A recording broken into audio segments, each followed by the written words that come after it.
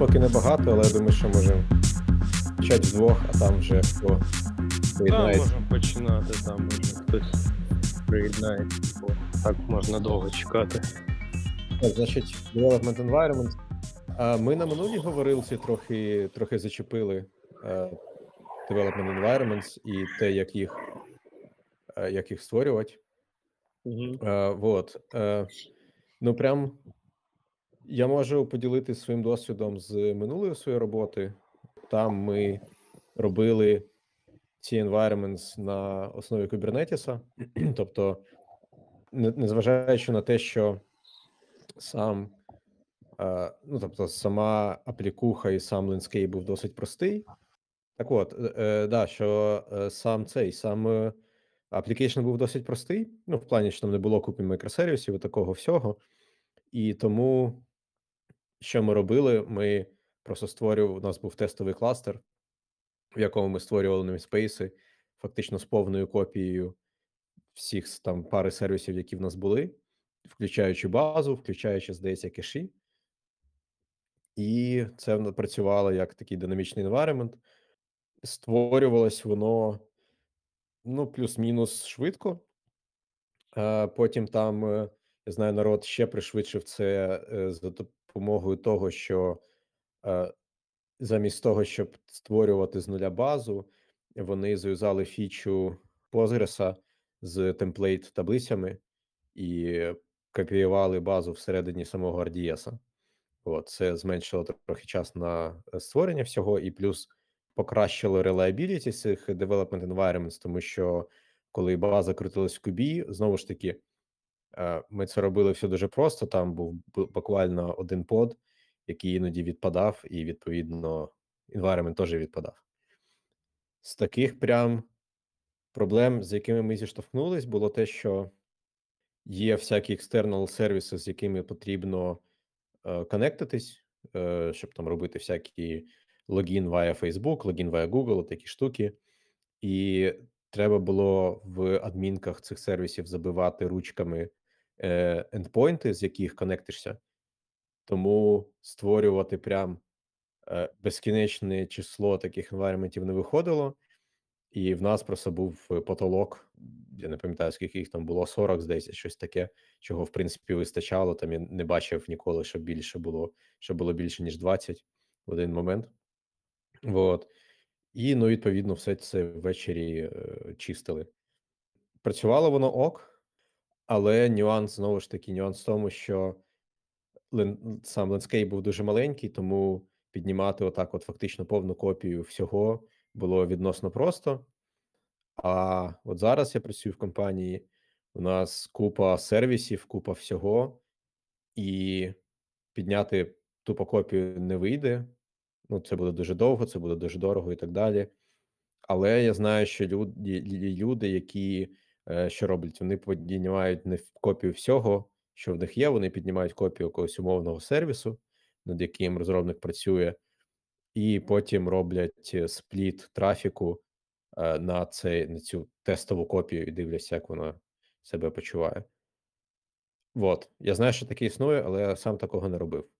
Може, в кого є ще досвід підняття енвайроментів? Ну, в мене є. Ну, як такого саме development environment нас не підіймається.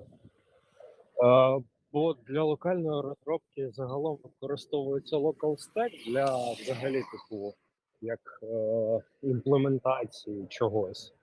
Та потім це все викатується в development. Перше, друге, якщо в тебе розбивається, там, наприклад, у нас є три аккаунти: Dev, UAT і Production, які до, до продакшену, наприклад, не там, типу, тільки, тільки обрані мають доступ, а до деву всі. Плюс е, на рівні є така класна штука, якщо в тебе база е, сидить типу в прайветі, ти можеш підняти е, цей, але клієнт VPN через Octu, через будь-який OpenID коннектор, ти можеш його ідентифікувати, авторизувати юзера. Ти йому даєш доступ, і він може туди ходити. Тобто підключається до бази, та там ти можеш ну, розробник може сам локально підняти сервіс і подивитися, там, наприклад, чи міграції працюють, чи ще щось. Саме як та, як створювати окремий develop, ну, типу, development environment, це досить накладно і досить складно. Я тебе розумію, бо це е, багато cross-dependency, треба на, накатувати різні значення. Ну, коротше, навіть якщо в тебе є Terraform, з часом він розростається прям дуже сильно. Коли в тебе 40 плюс сервісів, це ще складніше менеджити. В принципі, якось так. А який виходить flow розробника? От е, особливо ну, Ну, мені е, більше цікаво навіть про бази, тому що. Ага, да, давай. Ну, дивись, там просто в нас є розділення саме сервісів, є типу сервіс звичайний, в якого є доступ до бази, а є воркфлови. Ну, тобто, це воркери, які роблять щось. Та в нас є е, як це, Temporal IO, тобто це е, стори, в, якій, в якому є певні таски на виконання. Та, і в залежності від е, в залежності від кожного workflow вони роблять різне. Connection до бази, ну блін. Develop, ну, коли ти створюєш там в тебе три аккаунти, і там Dev, UAT, Production, ти в принципі підписуєшся під те, що development постійно буде, ну, типу, розвалений. В нас е, одна RDS, але багато схем. Тобто, ти е, для кожного сервісу своя схема, в яку він пише постійно. Плюс просто робиш ну, автоматично, якщо не помиляюся, там RDS сам робить бекапи. Тому, якщо хтось напартачить, ти зможеш відкатити. Хоча девелопмент, ну, він е, зараз працює, через години не працює. Якось так. А чого треба було робити е, одну базу і декілька схем, якщо навіть в рамках одного RDS інстансу можна було б зробити декілька саме логічних баз, і у кожної бази були б вже свої ці всі приколи. А, складно. О, с- Складність. ну, У нас спочатку було типу багато РДСів, потім ми вирішили все спихнути в один РДС в одну базу, але з різними схемами. Тобто, То я ще кажу, можна було б обмежитися одним RDS інстансом, але всередині RDS Так. інстансу було б декілька баз. в нас так в нас так і вийшло. Та, в нас так і вийшло. РДС, одна база, і всередині багато схем. Ні, дивись, є логічно база, а всередині бази є логічно схема.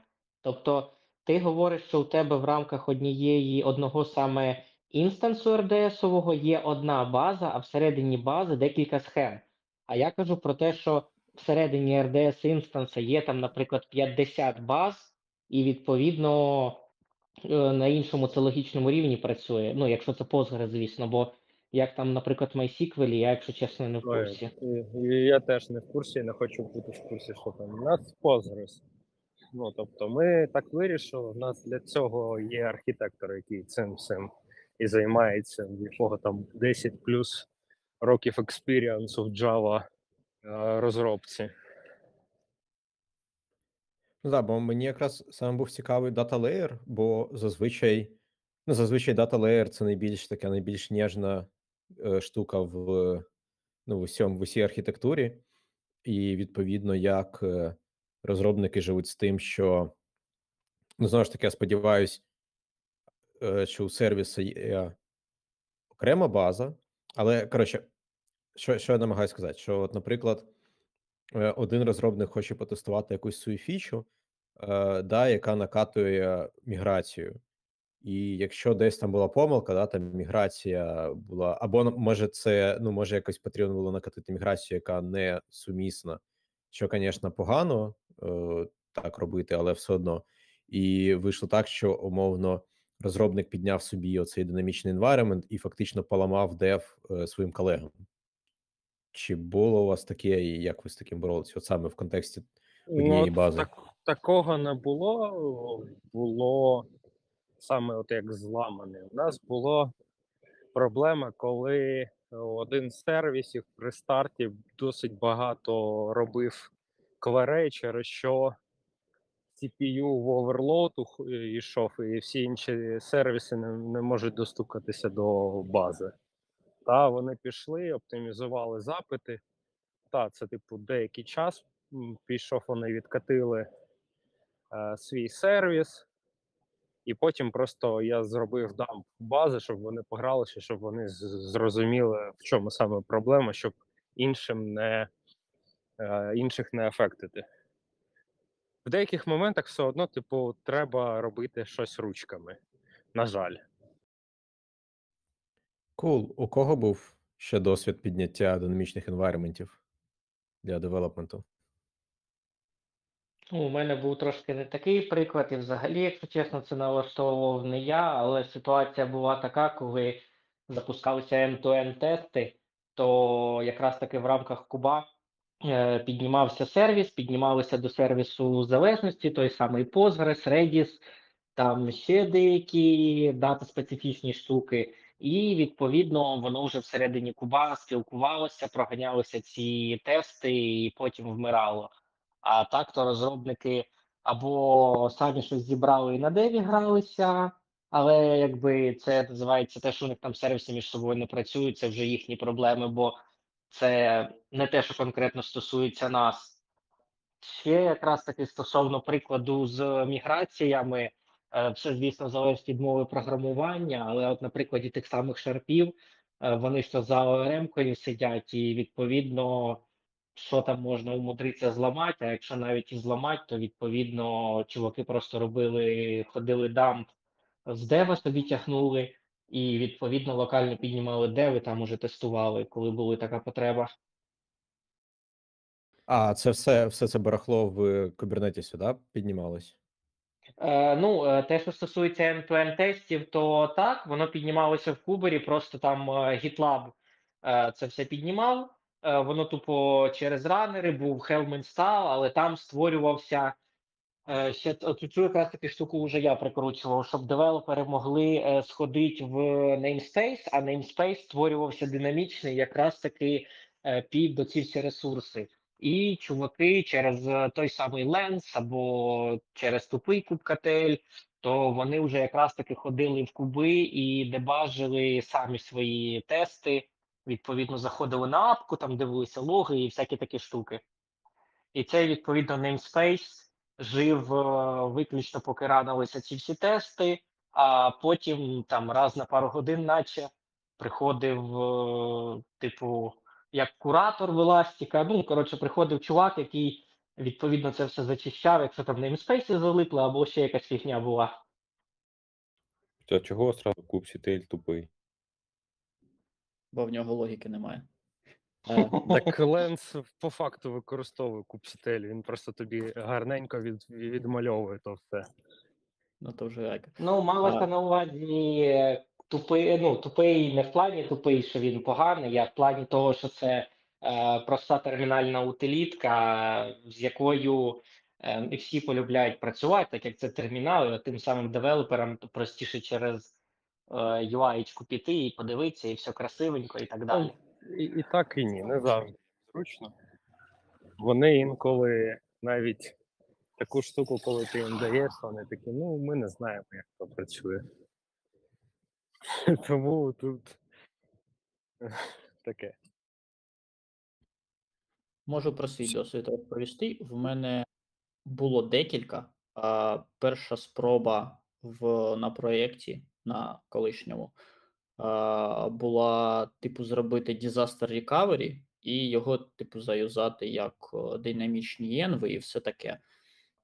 Воно працювало з шефом, з Дженкінсом. Вам, я думаю, не сподобається, але по факту можна було робити бранчу з назвою Dynamic на початку, і воно тобі піднімало віртуалку, копіювало шеф environment, е, який був е, з деву, і по суті, ця нова віртуалка з твоїм е, з тим сервісом, який там кубуки нам накатували, воно дивилось на існуючий дев.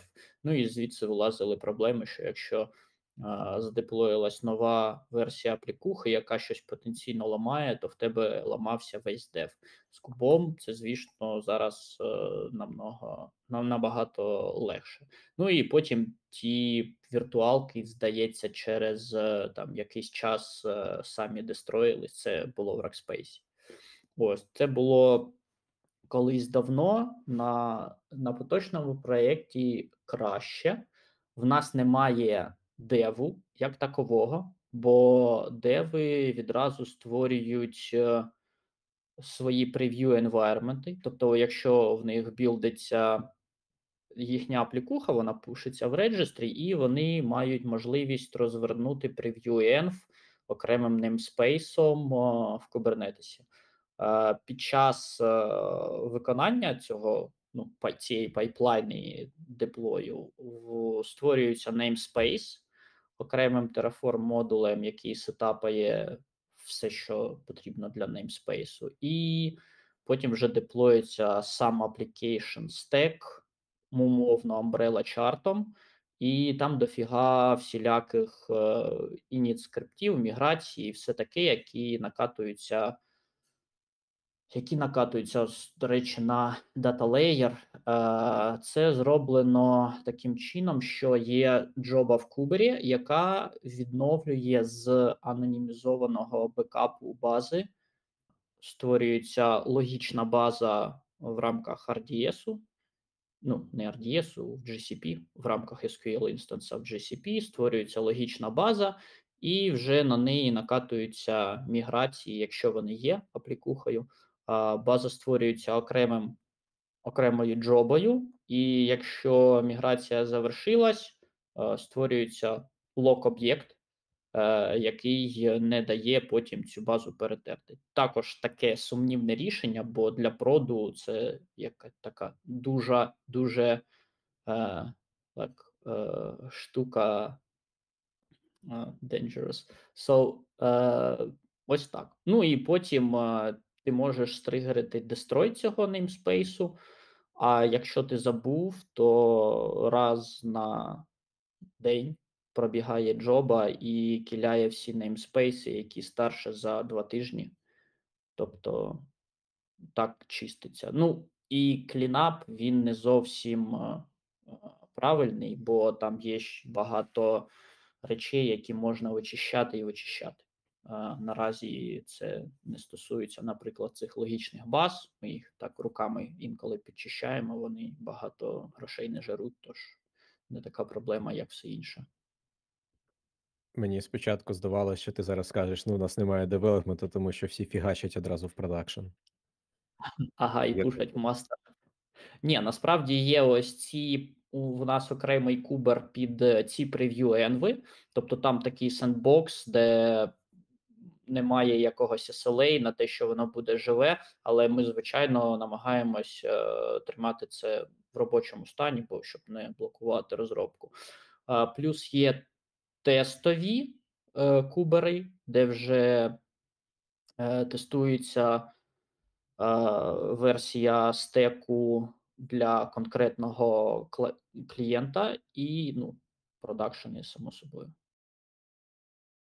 хотів теж дві ремарки додати щодо міграцій. Е, Ну, тобто, е, подібна схема є.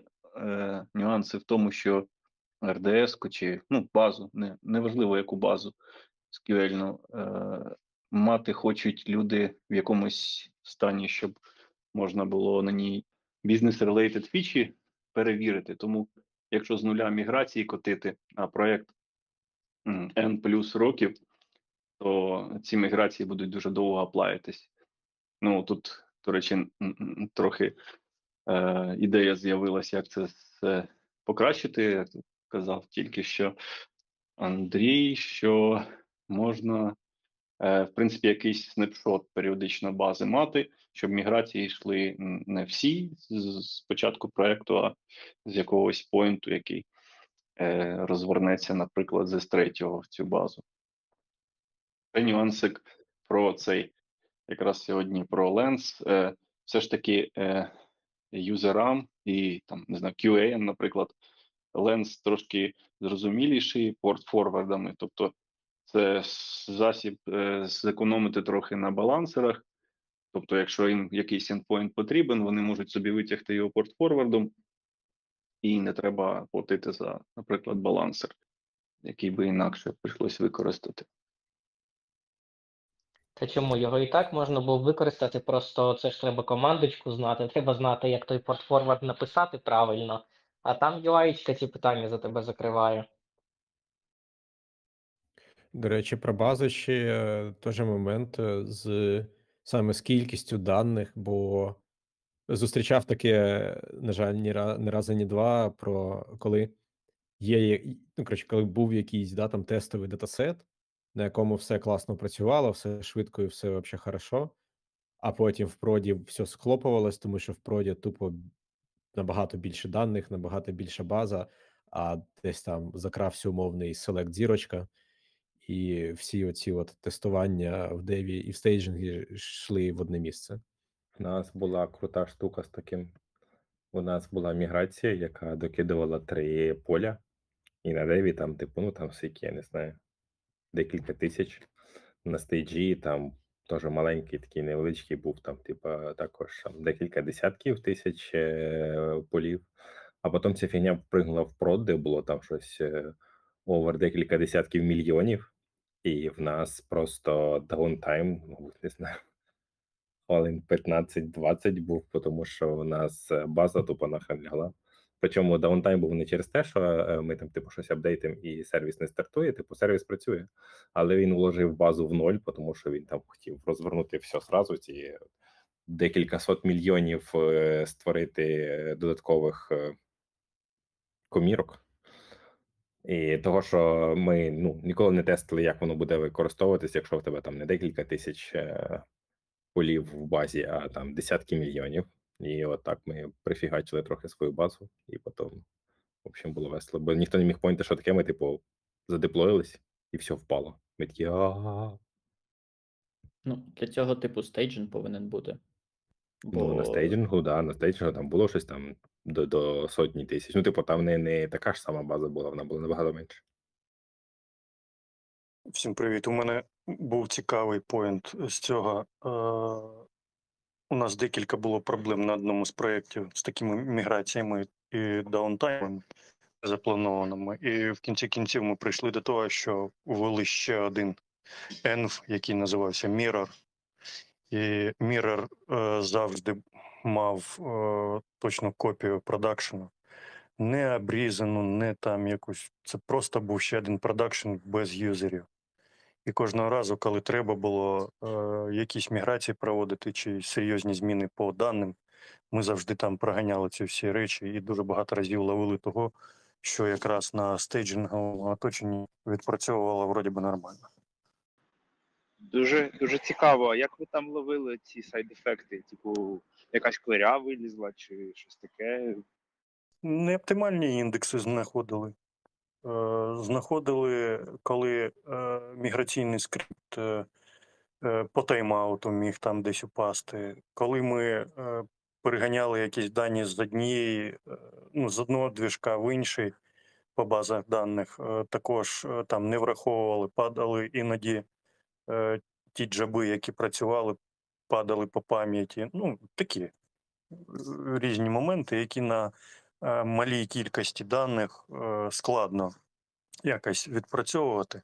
Е, Що цікаво, е, далі розробники е, для того, щоб ну. Їм боляче, да? вже все готово. е, Дійшло до продакшену. Давайте прогонимо на мірорі. Е, Воно там гониться якийсь час на мірорі, все падає, і їх е, тикають за те, що е, там щось не працює.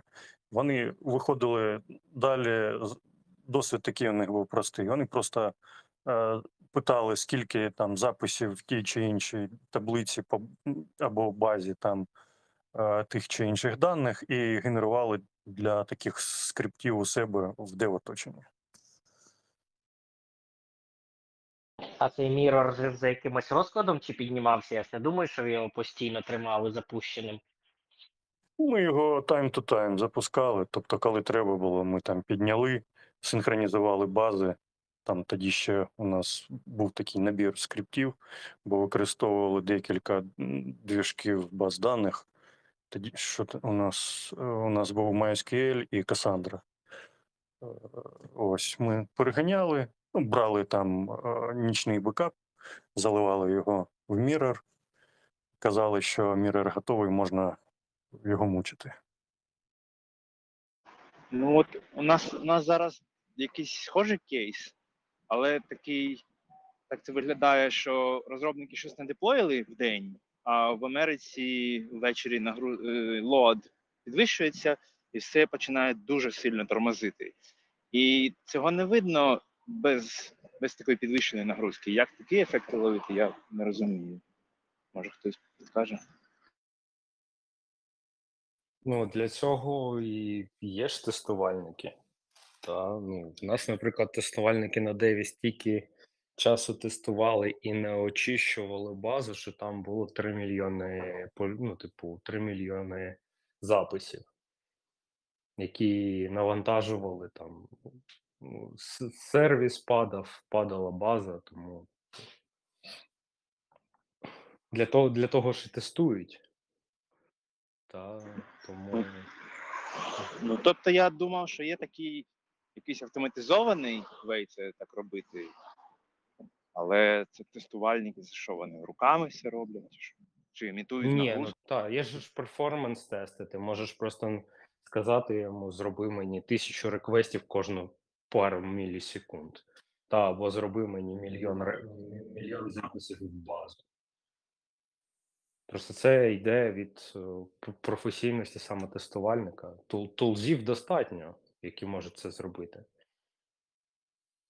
Вибачте, до речі, докинув в чатик, що використовують QA, Test Containers, такі є набори для тестів, і їх в Docker, якщо в ранерах піднімати, то там можна навіть створити такий маленький environment з маленьким мусклем, маленькою, там, не знаю, кавкою, ще чимось, щоб тільки протестити, а потім то все вбити.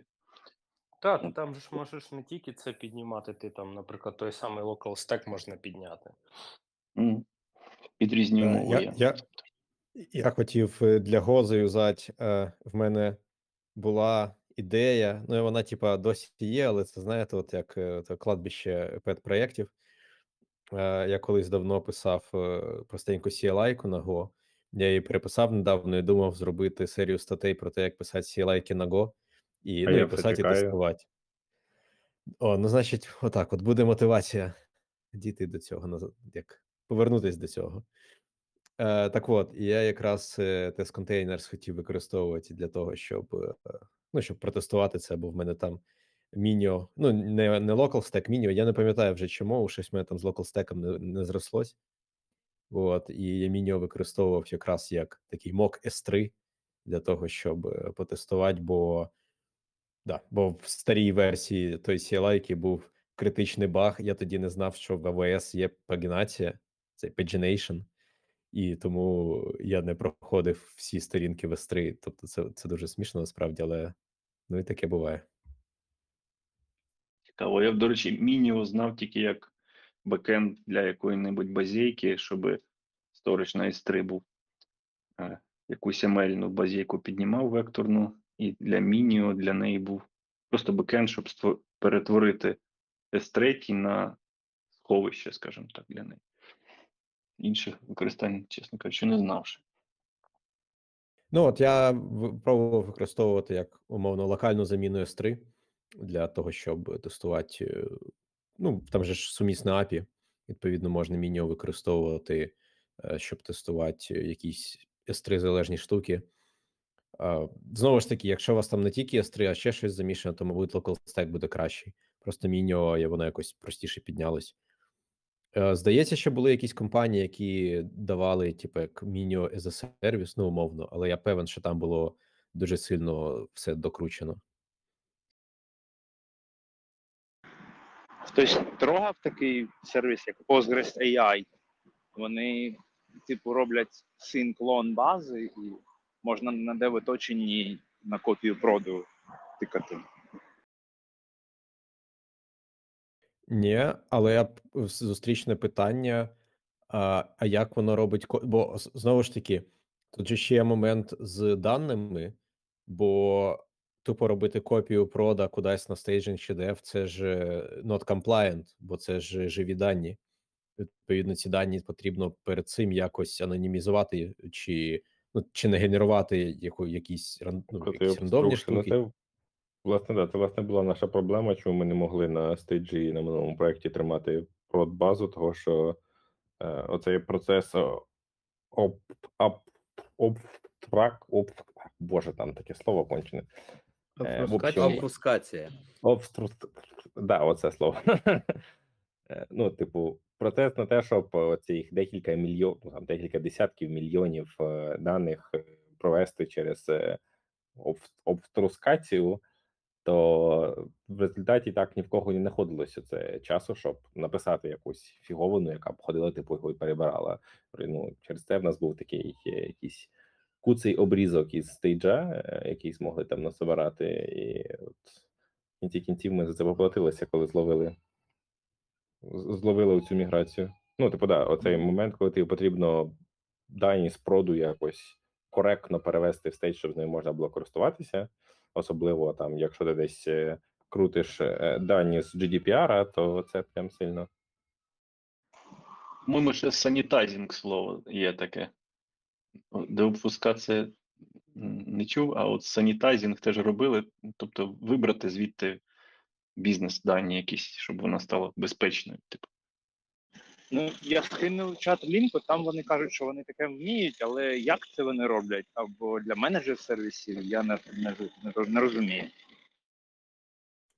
Ми для цього нашу команду дата інженер- інженерів навантажили. Сказали, хлопці, ви ж ETL будуєте? Будуєте. От давайте нам ETL, який, який візьме все, але певні колонки зробить рандомними. Ну і врешті-решт вони народили ETL, який дозволяє разово, ну, фактично on demand, скопіювати все, куди потрібно. А ще таку думку чув, що у вас ну, база не повинна мати все прям персон, персоніфіковане. Тобто ви можете users таблицю просто не копіювати на стейджинг, а заповнити її е, схожими на валідні дані. І наче для цього зараз е, просять ChatGPT, щоб він згенерував скрипт. Типу, ось у нас є така табличка з такими полями. Е, згенеруй скрипт для заповнення її анонімними даними, ну або фейковими даними, і воно щось таке робить. Слухай, ну как би юзери це не найбільша проблема дале, далеко. Ну, залежить від того, яка база, що там живе, але от в нас Ну, звісно, найбільше- звісно, там картки, там ще щось таке. Ну, я, я про це також маю на увазі. Так, так от проблема в тому, що тобі потрібно ж це зробити все ж таки консистентним. Та? Ну, тобто, дивись, наприклад, в нас там є якась айдішка, та? і ця айдішка має там співпадати там за назвою між різними ентітями, які між собою там пов'язані. І якщо ти їх рандомно рандомайз зробиш, в тебе почнуть там всякі різні там інтеграційні тести падати, валідації почнуть падати, тому що там щось чимось не співпадає. В нас, наприклад, в нас система, яка опрацьовує інвойси, так, багато інвойсів. І відповідно, в нас є сутність, яка цей інвойс створила, тобто виконала якусь роботу, і в нас є сутність, яка сплачує цю роботу по цьому інвойсу. Так? І ми перевіряємо, що, по-перше, автор інвойсу співпадає з тим, що в контенті інвойсу, тобто не може компанія A зробити інвойс на компанію B, тобто вона має зробити інвойс тільки на себе. Так, ну сама, сама виконала роботу. Перша проблема. Друга проблема, що компанія, яка сплачує, має сплатити інвойс, який виставлений саме їй, а не рандомний інвойс. І в нас там купа тестів, які перевіряють всі ці там зміни стейтів. І якщо ми, наприклад, зробимо рандомайз е, імен компаній, які виконують роботу, відповідно, ми мусимо е, фактично всі ці інвойси перебрати, зробити їх валідними відповідно цих імен компаній. Це як примірник, але насправді там може бути купа такого. І Ну, відповідно, тобто, щоб рандомні дані, які рандомні, щоб вони були контрольовано рандомні і співпадали там, де вони мають співпадати. так. І це фактично давайте повторимо бізнес-логіку аплікації. Ну, тому ти й напрягав своїх е, розробників, чи хто там. Дата-сатаністи, дата-інженери. Так, і я, я не можу сказати насправді, що ми з цим, що воно ідеально працює. Бо це робиться, це дуже важко підтримувати, і фактично це зводиться до того, що в нас там раз на рік якийсь великий проект. Ми кажемо, так, хлопці, будь ласка, причешіть його. І вони там лізуть, кажуть, нам потрібно два тижні. Два тижні вони там щось перетворюють. Такі, окей, воно up-to-date з тим, що є в наявності. Ми там заморозили на момент якихось там міграцій, великих апдейтів. Все розкатали, і потім воно знову ж таки лежить, чекає наступного разу, і його ніхто його не підтримує. Тобто, оце отакий шлях. Але ми таким чином, ну, трохи всяких різних моментів ловимо, коли щось там велике. Ну, знову ж таки, це треба, щоб у вас були дата-сатаністи, які можуть е, гарненько обробити ці всі масиви. Бо коли кажеш таке демо, вони такі ой-ой-ой. Хороший Ти- дев е, іноді ти- краще поганого дата-сатаніста. Ти б чув, що, що сатаністи казали? Ну, потім можеш збірку найкращого якось випустити. Буде читання на, на досугі, боже, як це перекладається? Вільний На час. відпочинку. А в мене питання: ви вже проговорили про ці cloud environment, цю всю срань? Ну, от ми ж в процесі. Ми просто, коли говорили про cloud environment, е, дійшло до того, що така з data layer це найбільш цікаве в тих environment. Це, ж здається, твоя тема була, так? Так. Ну, в, мене от питання. Зазвичай під час розробки виконуються, ну, р- деви працюють з якоюсь сід базою. Тобто ніхто не тягає там велику базу там на 200 гігабайт кудись там, щоб деви щось там собі розробляли. Ну, якщо це не data інженір якийсь, так? І от проблема, з якою я стикнувся, як ви пов'язуєте розробку декількох сервісів? Бо в реальному житті workflow виглядає як людина відкриває собі там пару сервісів, які між собою щось там роблять, видає, та в нього там в одному вікні один сервіс, в другому другий. В нього там піднята локальна база, якась там Redis і пара контейнерів з цими сервісами, де воно все це працює, і воно там між собою туди-сюди ходить, і от він там наживу щось там править. Ну, Ruby так дозволяє. Тобто ти там одразу щось пишеш, і воно одразу працює. За це його полюбляють. Але коли ми, я пробую це все е, кудись там в Codespaces посунути, або там в якийсь Cloud9, воно все заточено, що ти в один момент часу працюєш з одним сервісом якимось, тобто над однею репою. І фактично, якщо я кажу, хлопці, так, все пішли в клауди, виходить так, що в клауди вони піти не можуть, бо в них перше питання: от, а як я можу оцей мій workflow виконати? І я, от так, чесно кажучи, поки що не знайшов, як це нормально зробити. Тобто, приєднати VS Code до Codespaces проблем нема з- жодних. Воно приєднається, код монтується, всі, там налаштування працюють як нативно.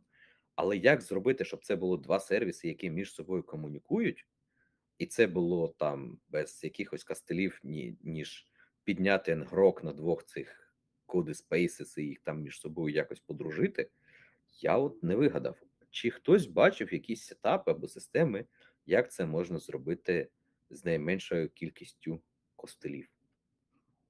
Є така штука, це, напевно, саме близьке, що я чув, телепрезенс. Типу, воно для локальної розробки і Kubernetes. Тобто воно якось прокидає тебе в куб, коли ти локально розробляєш і рестартує поди. Е, у HashiCorp ще щось схоже було, але я не пам'ятаю. Field.dev чи якось так, який теж щось схоже робить. Але це все кубове. Тобто, якщо у вас куба немає, то тоді воно не буде працювати. Так, просто До, Так ще ж колись якийсь скафолд так робив, чи ні? Чи не? Ну, Scaffold трохи не це робив. Скаф... У Scaffold, точніше як.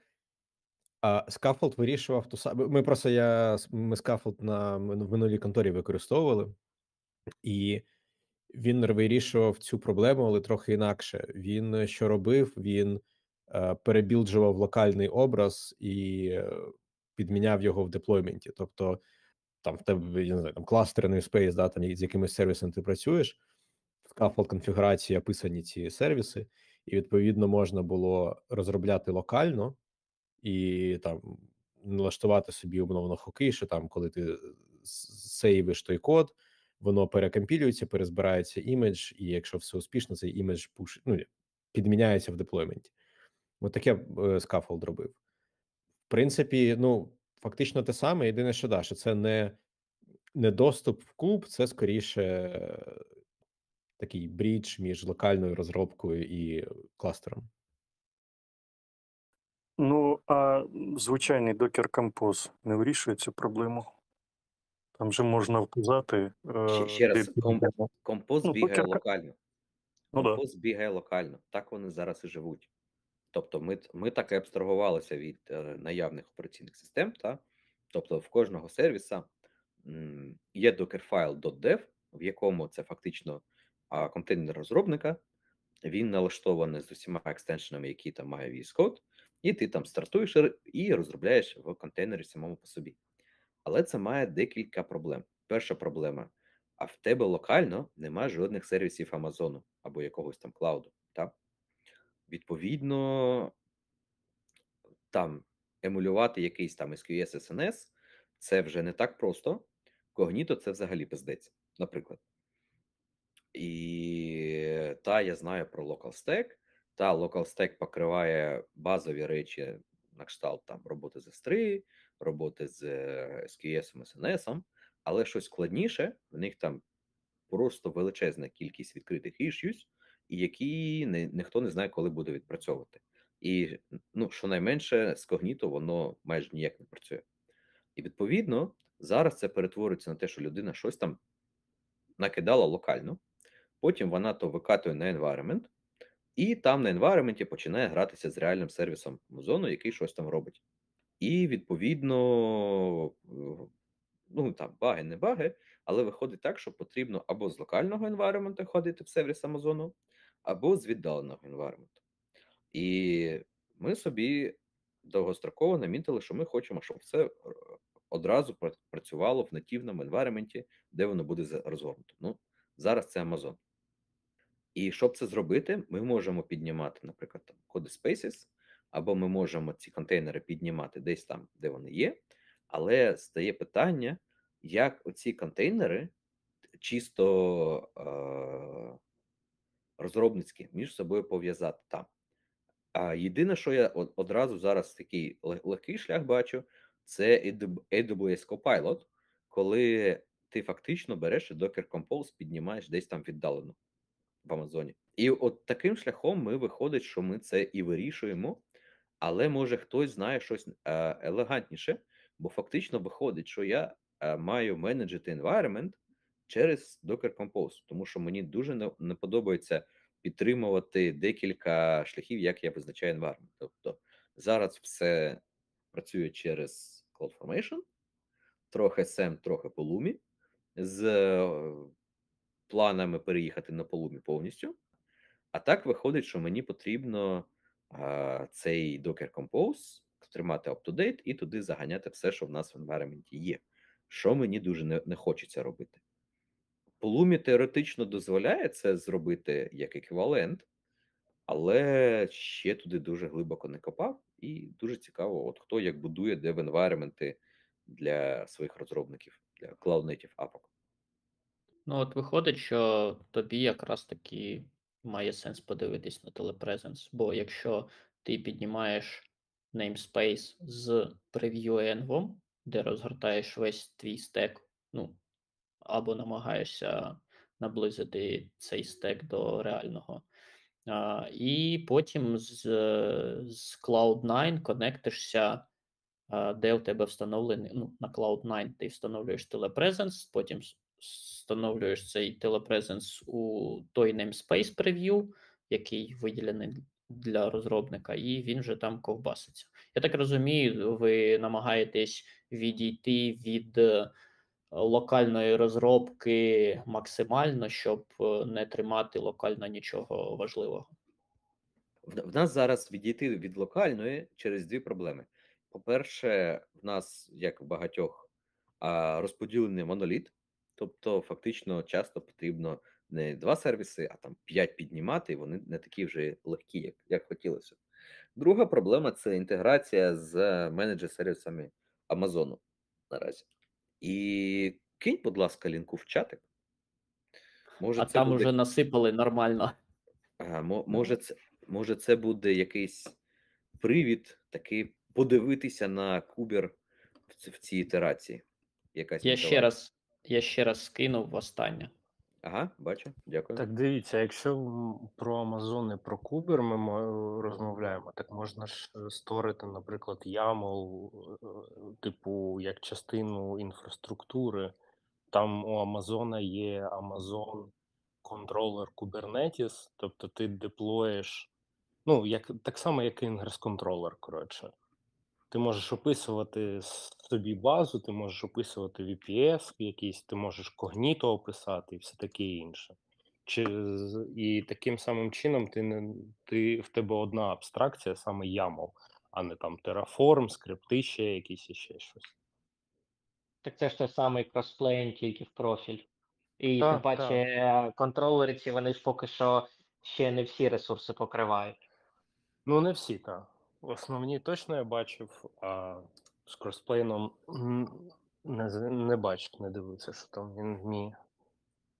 Ну, в нашому випадку це буде Pulumi. І який теж вміє в YAML. Дався вам то YAML.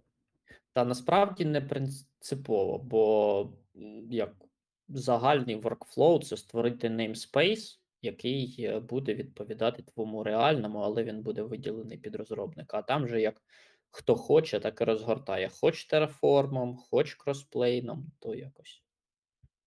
Аби е, клауд рішення не вставляло тобі е, в колеса палки. Бо буває так, що типу, о, в нас є така фігня, а ти починаєш її використовувати, а вона не підходить, і, і бо ти не прочитав е, маленьким текстом, що вони не підтримують, там, наприклад, якісь поля довше, ніж скількись там символів.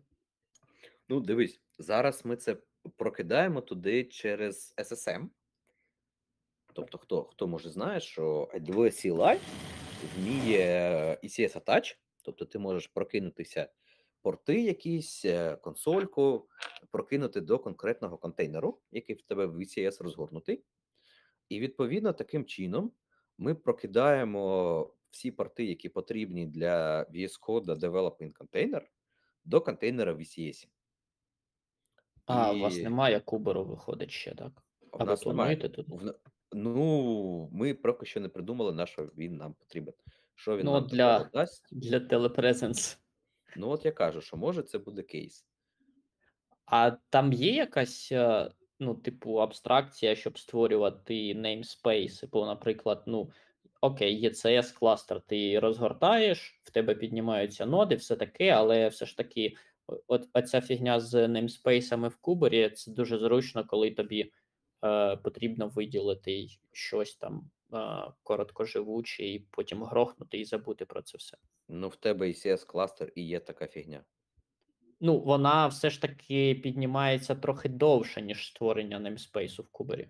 Come on. Саме кластер створюється за секунди. Там же ж Е, кластер це чисто віртуальна абстракція. А якщо ти використовуєш той самий Fargate, то там взагалі з цим ніяких проблем. Тобі тупо виділяються ресурси, і у тебе вже готові сервіси підняті. А, я просто давно працював, тому не пам'ятаю, наскільки вона швидко. Зараз кластер створюється за секунди, і там з моменту, як ми там щось починаємо створювати, до коли ми там починаємо чекати на контейнери, не знаю, секунд 20 проходить. Вікторе, ну, якщо узагальнювати вашу задачу, то це е, виходить, що вам треба Env на розробника, так? Так, так, так, так і є. От в мене, ну, е, питання, як то коректно менеджити, да, тобто створити це разово там можемо. У нас фактично зараз і є ці ЕНВ на розробника створені через CloudFormation, але я от думаю, як зробити так, щоб, е, розробник в себе міг там умовно в 2-3 кліки сказати: "Окей, хочу отут розробляти так, отут так", тому що там не завжди не всі сервіси потрібні. І, ну, тобто в принципі, та баша можна вирішити будь-яку задачу, та? Але от питання, чи може є щось готове. Ну, от я погуглю про Telepresence, може він це якось вирішує, подивлюсь, як в нього інтеграціями з IDE-шками. Чи може він там це все А підкидати? можливо, стане в нагоді мій досвід з шефом та Rackspace та Дженкінсом, я розповідав на початку. Але, ну, сама конце сам концепт. Тобто ми створювали, тобто розгортали динамічний environment для якогось окремого сервісу, і логіка була така, що ми копіювали dev environment шефу, змінювали там версію аплікухи, і в цей environment атачили ноду, яка конфігурувалась шефом. Тобто вона динамічно піднімалась Дженкінсом, туди сетапились кукбуками аплікухи. Ну, одна окрема аплікуха, як, яку ми хотіли розробляти. І це, мабуть, можливо якось наколхозити з ECS, тобто, наприклад, розгорнути маленький кластер, і там підняти той сервіс, який ти хочеш розробляти, але він буде дивитись на якийсь реальний дев, реальне дев-оточення. З мінусів, так, ти потенційно можеш все зламати. Треба мати на увазі. Ідеально так, роз, розгортати весь стек. В нас проблема, тобто піднімати один, а не весь стек, е, впирається в те, що в нас є third-party інтеграції, які е, не замокані.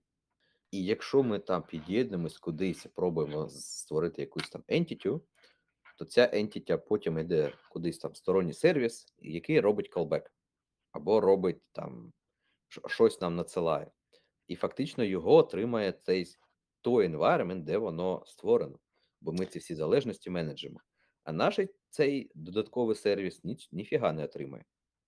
А, тоді це колупать в сторону API Gateway, там, здається, навіть в Amazon якийсь є. І А, коли є. ти піднімаєш новий е, ECS кластер, е, ну, наприклад, CloudFormation, тобто це не проблема створити ще один рул в API Gateway на цей динамічний кластер. Ну, якось в Ти ж можеш на щось рівні стейджа просто все створити і просто кинути на інший енв, так? Дивись, ну мені або потрібно робити е, попередній пул коннектів, звідки і куди я щось можу робити, бо я не можу керувати сторонніми залежностями через API. Тобто я там руцями маю зайти, зробити environment розробника. І цей environment розробника має такий там ключ і такий та callback URL, куди воно потім буде щось кидати. І мені або потрібно наробити таких там з запасом, і коли піднімається environment, ми кажемо, ага, зараз ми беремо там QBO 1 інтеграцію, бо вона зараз іншим інвом не використовується. Ну, такий якийсь лісапет. Ну, знову ж таки, оцих купа маленьких проблем, які є, і от я думав, може, є щось, що може не більш-менш готове якось з цим працювати, так? Щоб не писати А все самому. Дивись, а дійсно потрібно твоєму розробнику локально, ну не локально, а ось на, на етапі, коли він розробляє саме е, цей сервіс, е, колити ці сердпаті.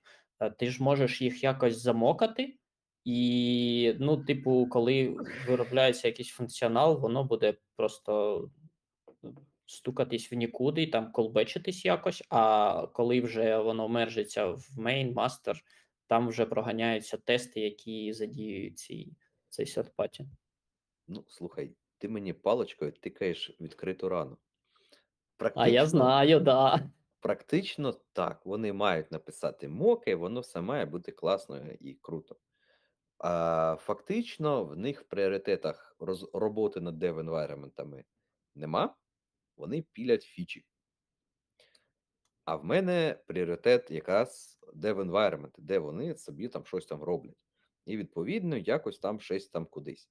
Тобто я вже дивився на варіанти, як моки е, робити автоматично. Тобто прокся, яка там вчиться на продакшені, е, ганяє якусь там, намагається яєчку ганяти, яка з цього генерує тобі конфіг для мока. І ти можеш імітувати це. Але фактично, я з цим грався, грався, і такого, щоб воно е, було працювало, важко. В нас е, ми використовували WireMock, здається, так називався проєкт. Е, Тобто воно тобі повертало що завгодно, коли ти його там питав. Ну, мабуть, е, багато таких проєктів є, але це наш окремий випадок. Е, Ну, І, Ну, ну, дивись, тут, тут питання не в тому, а де мок захостити, та? Тобто багато що може мокати. Питання в тому, як робити ці е, генерацію конфігів, моків автоматично або напівавтоматично, щоб не руцями всі ці прописувати endpoint, request response, та? а так сказати: от тобі отут вчися, і повтори мені це отут. Ну там, здається, мок динамічно. Оцей WireMock, він через API-шку міг наповнювати правила. Тобто, теоретично, ти можеш е, генерувати ці правила з шаблону під час розгортання твого динамічного генгу. Шаблон хто генерує? Ну, ти повинен мати цей шаблон, е, як. е, Ну, ви, ви ж ходите на якийсь той party, він вам щось повертає. Це я, я розумію, що ви, ви знаєте, що ви в нього питаєте і що він вам повертає. Тобто ти мокаєш ну, ці дані. Якщо ви можете насправді їх замокати, не знаю. А, а ми, ми насправді хостили цей VRMock на Jenkins е, Slave, бо тестували перед е, після білда Docker контейнеру. Ми потім піднімали Docker Compose, там щось тестували, і вже потім аж тільки пушили в реджестрі. Тобто у нас був мок, ну, Docker в докері і в докері. Там страшне. Ну, тут питання, щоб оці, е, як ти кажеш, темплейти не генерувати руцями, щоб воно само вчилося. Ну, в нас насправді е, ми спочатку генерували руцями, бо вони не часто. Ну, я, я розумію, що генерувати е, не так. А, щоб воно вчилося, це у вас повинен постійно змінюватися контракт вашого API. У вас дійсно так? Бо якщо API не змінюється, нафіга вам е, е, щось там вчити? Ви забиваєте та от, от, оце друге і все. В нас декілька десятків third-party інтеграцій. Вони не одночасно, але всі змінюються. Ну, от за рік, наприклад, там буде 5 змін, 6 змін. Та? Фактично, це зводиться до того, що кожного другого місяця щось десь якось буде відвалюватися. Окей, а як ви І зараз робите? Наприклад, локально. зараз Як ми не мокаємо, ми ходимо до живих інтеграцій. Ну, окей, ходите, callback куди прилітає? От зараз він прилітає на статичний environment розробника. От ми А зробили як, як він його конфігурить? Тобто він у вас один розробник? Ні, не один. В нас а, десяток dev environmentів. І розробники між собою координуються. Сьогодні Джонатан працює на environment QA1. Окей, Джонатан пішов, задеплоїв, які йому потрібні бранчі, і там грається. А, ну от і вказав, як вирішити. Тупо створюєте 20 енвів і там самі домовляться. А захочуть, а захочуть не домовлятись, ну, shift left там чи як shift right. Коротше, от як почне їм боліти, тоді вони подумають про WireMock сервер, е, сервіс. Чи, чи як воно там називається? Про, про мокання цих всіх даних. А може їм окей, а ти тут голову ламаєш. а їм не окей, але в них лапки. Ну, от просто ж проблема в тому, що вони хочуть свою проблему перенести на тебе, так само, як, типу, ти міг би перенести свою проблему на них. Ну, типу, тут або тоді разом розрулювати, або просто не робити. До того, поки там апішка якогось е, апішка інтеграції просто не відвалиться. Та бо всі підняли собі сервіси і валять запити на одного на одну інтеграцію. Віктор, Ну, дивись, я так розумію, що така ситуація часто складається, коли у тебе е, дуже багато платіжних систем різних. І кожна з платіжних систем, наприклад, має, ну, може піднімати там один-два лімітовану кількість дев-оточень, і тобі постійно треба прописувати, е, куди колбеки відсилати, там пройшов платіж, ок, не ок і так далі. Я правильно розумію? Такий у вас кейс? Ну, де- десь, десь так. Не платіжні Ось. системи, але кейс такий. Да, я зрозумів. У нас, е, коли я в фінтеку працював, е, трошки інакше працювали. Е, У нас було декілька дивоточень, на яких ті чи інші платіжні системи були включені.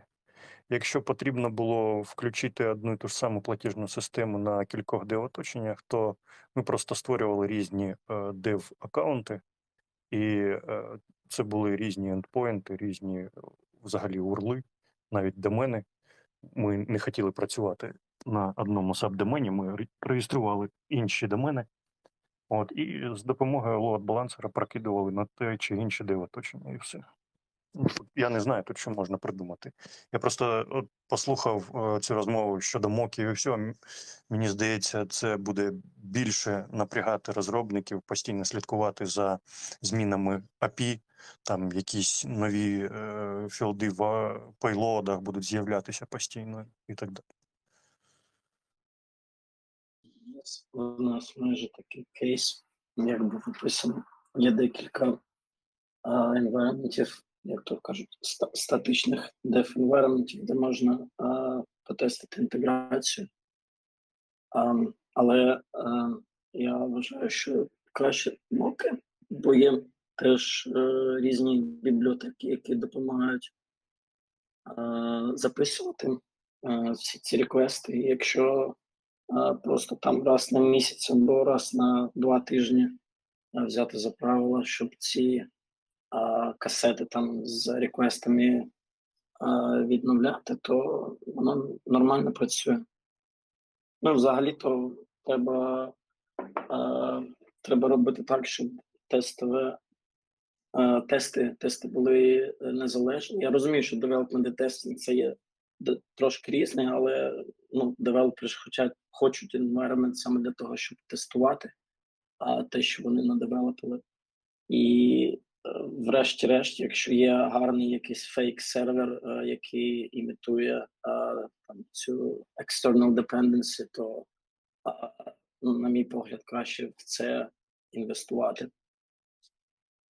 Бо- це пришвидшує, прискорює взагалі-то розробку. Але так, е, ціна за це, плата за це те, що треба це підтримувати. Ну і якщо це Ruby проект, е, то там же е, в самому Ruby можна мокати прямо в коді. Не треба ніяких зовнішніх е, мок сервісів. У нас е, є бекендери, які працюють з, з Ruby, і вони просто мокають ті чи інші ендпойнти, які їм потрібно ну, для локальної розробки. Ще раз, хлопці, не, не стоїть питання, чи можна замокати один endpoint. Можна. Питання, як зробити автоматично, це для десятки інтеграцій, в кожного з яких щонайменше 10 endpointів. Та? Тобто, як це автоматизувати? Тобто, можна маруцями нахерачити моки для 20 інтеграцій по 10 endpointів і це все тримати? Можна посадити під це пару студентів, і нехай вони нескінченно то хуячать. Але питання, чи можна це автоматизувати? Так? Я знаю, що є DevTools, наприклад, JMeter, який вміє бути проксією, і на цій проксі він в тебе складає лог, на який реквест, який був респонс. Є тули, які е, під це заточені, які можуть побігати по цьому логу, а зробити його е, генералізацію, та? тобто, наприклад, там викинути час, такі речі, та? тобто, щоб нормально воно почало працювати, і е, зробити тобі фактично ці темплейти. І ти вже не руцями пишеш 200 моків, а ти руцями просто передивляєшся, що воно працює, як працює. І в ідеальному випадку в тебе є інтеграційні тести, ти їх заганяєш напроти цього моку, і воно має все просто ідеально спрацювати. Так, якщо не працює, дивишся, де що як. І ну, це от в такому напрямку рухатись. Тобто автоматизація наше все. Слухай, а в тебе Це колбек автоматизація реверс інженірінгу, ти зараз розказав. По суті, правильно? Ну, дивись, ме- мені не потрібно розуміти, що саме там сталося на бекенді. Мені потрібно знати, що на request A приходить респонс B завжди. Все. Угу. Слухай, а в тебе колбек, який повертається, він містить якусь, е, я не знаю, інформацію, яка зв'язувала б його з е, тим реквестом, який ти відправляв на third party? Ну, інколи так, інколи ні. Тобто я думав зробити смарт-роутінг, який буде там сам розкидувати, але здебільшого response це в тебе ID -шка, а яка зашифрована, ти маєш її конкретним ключом бекенду розшифрувати. Звідти ти береш контрольну суму та ID, потім ідеш на API цієї інтеграції, стягуєш фактичні дані і перевіряєш їх відносно тієї контрольної суми. Тобто, от так це працює. І просто розкидувати ці івенти, ну, це нахерачити ще один сервіс, який буде менеджити купу купу інтеграцій. Ну, знову ж таки, дуже не хочеться написати ще щось велике. Добре, дякую за ваші пропозиції. Буду думати. Гарного вечора. Може, в кого ще є питання по організації динамічних енвайроментів? Або по мокам, чи якісь історії. Просте питання і складне одночасно. От є env, там декілька енвів, да, продакшени, не продакшени і так далі, які працюють в Kubernetes. І часто розробники е, локально також хочуть розкрутити це все у себе. Хто чим користується для цього? Ну, кейс простий. Е, у мене Kubernetes, е, у мене в Kubernetes працюють мікросервіси. Е, і питання також просте: як девелопер локально розгортає ці сервіси у себе?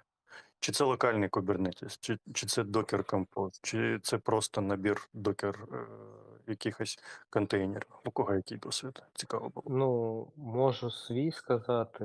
В нас підіймається в Kubernetes локально, але є один нюанс. Коли в тебе мікросервісна архітектура, в нас, наприклад, це 40 вже плюс сервісів. е, Ну, типу, треба досить потужну тачку мати, щоб це все підняти. Та там на перших п'яти сервісах о, твій ноутбук, наприклад, він просто впаде. Ну, типу, він, він заглючить і, все. Типу, ти не підіймеш нічого. Тому взагалі, ну, ти можеш підняти локально в Kubernetes і просто, ну там, типу, через або просто підняти чи збілдати через IDE-шку і просто через порт-форвардінг, про те, що ми там на початку розмовляли, підконектитися до інших сервісів, які тобі потрібно. Якщо там тобі потрібна база, там є варіант е, або там дамп зробити, або через клієнт VPN підключитись. А, і тут одразу коли, коли дивись, багато... одразу Так, так. Sorry, що перебуваю. Таке одразу питання. Наприклад, е, використовується якийсь secret manager або Vault, або ще щось. Е, Що робити з цим локальному девелоперу? Ну, якщо це Dev Environment, то ти просто даєш доступ на цей секрет і все. Ну, в нас, наприклад, девелопери, в них є свої там секрети, які виключно використовуються для локальної розробки. Вони, типу, нікуди не підключаються. Вже потім вони можуть там дебаги робити. А взагалі, ну, от якщо ти, ми кажемо там про Vault чи про Secrets Manager, то ти можеш е, та, ну, в залежності, як налаштовані там секрети, в мене, типу, Secrets Manager сервіса, він, типу, прокидується в, в кластер та, через External Secrets оператор. Ти так само можеш просто е, там е, той самий башем просто стягнути команду, от, типу, згенеруй собі секрет там стягнути секрет Secrets Manager і створити секрет в кластері у, себе локально. Так, щоб, типу, вони не використовували е, якісь свої чи там хардкодили собі. Є взагалі питання, типу того, от цих секретів, мабуть, там 100 штук, да? Їх клонувати, щоб зробити новий environment. Це тупо, тупо так робиться per environment, чи є сенс такий шарений зробити, чи їх референсити, як то робити? Ну, взагалі, я думаю, що на Dev environment ти можеш просто, ну, якщо ми там про Kubernetes скажемо, то можеш просто в, в іншому namespace створити собі повністю весь environment. Та зі сторони, ну, типу, це прискорює розробку, але просто до- додається додаткові проблеми, як там е, тобі треба деплоїти і туди, і туди, та девелопер, е, дев там і тест environment та плюс додавати там permission, щоб external secrets тобі все, все створив секрети в Kubernetes. Просто моя позиція така, що коли в тебе багато сервісів, ну, все ти не піднімеш ніяк, бо ну там в мене 40 сервісів, в мене CPU вісь- 80 vCPU, типу, потрібно, щоб все підняти. Меморі там 100 з чимось Ну, гігабайт. Да, це зрозуміло. Ясно, що не потрібно весь env піднімати. Можна там репліки в ноль виставити і підняти Тому тільки можна, ті мікросервіси, які потрібні. Можна як варіант створювати namespace, якщо немає network policy, там Calico чи ще щось, та, який блочить конекти з інших namespace, то ти можеш просто створити їм тест namespace і казати: ось дивіться, ось ви можете сюди деплоїти е, свій сервіс. Та там налаштувати, щоб там external secrets тобі створив secret, external secrets оператор створив secret, і просто реквести там е, кидаєш на нього. Та, там, але просто тобі треба прописувати цей шлях, там, як там, ім'я сервісу, е, ім'я namespace SVC local, якщо не помиляюсь. Е, Там буде ж з трафіком ще момент в тому плані, що якщо ви піднімаєте сервіс в ізоляції, то вам потрібен якийсь механізм, як е, з апстрімів будуть реквести доходити. Тобто ви маєте або трафік дублювати, або якось переключати апстріми на чуть-чуть і потім переключати назад. От, ну, щось придумати з цим ще. Мене е, в випадку локальних Kubernetes кластерів лякає більше не те, як це можна там організувати, як запустити, а як далі сапортити ці всі локальні Kubernetes кластери. Я вам чесно Ну, кажу. так, в цьому проблема, особливо коли багато девелоперів, в тебе там в когось Mac, в когось Linux, в когось Windows, це прям дуже боляче. Дам про болячки на макі. Я це яке СНВ в цьому сенсі крутив досить довго. І там з Stateful біда. Там в EKS безплатній версії взагалі немає ніякого провайдера для Stateful, але можна прикрутити HostPass. От я, я коротше, навчився прикручувати, там навіть в TF загнав, але крашиться ETCD. Тобто е, хлопнув кришкою, е, Mac заснув, ETCD закрашився. Як витягувати це в якісь зовнішні сервіси, ну це вже тоді не локальне, не локальний кюб-кластер. Коротше, можу сказати, що то так, фігня, коротше. Мати щось, ну, якщо це щось критичне для тебе, то на MacBook воно якось так поганенько. Ну або не закривати кришку. Да, і не Ми, вик... ми використовуємо Kind для цього. Ну, це от е, той, що Kubernetes and Docker, але він в нас використовується скоріше не як якийсь умовний композ, який підняв і там щось робиш з ним. А у нас е, для одного з операторів написані е, end-to-end тести на е, Ginka і Gamega. Ну, це, це фреймворки для тестування в Go. І фактично для теста піднімається, е, тобто сам фреймворк він піднімає цей kind кластер, е, сетапить туди і, там кілька залежностей, сетапить оператор, проганяє там швиденько, ну як швиденько, проганяє ті тести, які в нас є, там не те, що їх багато, не там оператор простий, і потім все це схлопує.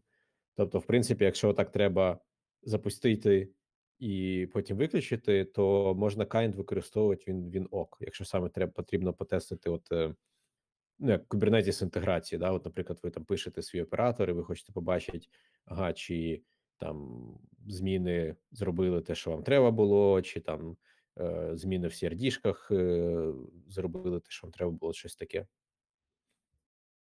Прикольно, як Kind колись крутив. Тож виходить просто кубернети всередині докера. Тобто всі компоненти це контейнери, і воно ну, ефемерне, бистренько злітає, бистренько дохне. Але як, як його залишити на, на тиждень, мабуть, теж закозлиці, чесно кажучи, не знаю. Ну, скоріш за все, да, але ж я ж кажу, що ми його використовуємо чисто от, запустити, прогнати тести і, і виключити. Я, чесно кажучи, пропоную вже до наступної теми сьогодні не переходити, не, не переходити в плані, а, бо ну, досить, як на мою думку, досить прикольно поговорили майже півтори години. А, з купою, купу чого проговорили. Це класно. От. Тому, да, е, всім дякую.